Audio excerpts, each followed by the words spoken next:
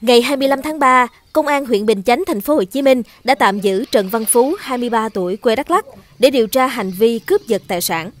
Khoảng 20 giờ ngày 19 tháng 3, Phú đi xe máy đến cửa hàng điện thoại ở ấp 2, xã Vĩnh Lộc B, huyện Bình Chánh do anh Nguyễn Tiến Đính, 37 tuổi, quê Lâm Đồng làm chủ, rồi hỏi mua một chiếc điện thoại.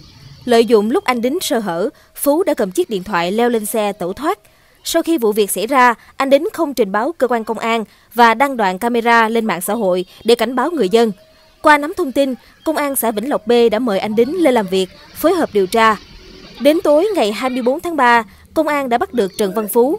Tại cơ quan công an, Phú thừa nhận hành vi cướp giật tài sản của mình.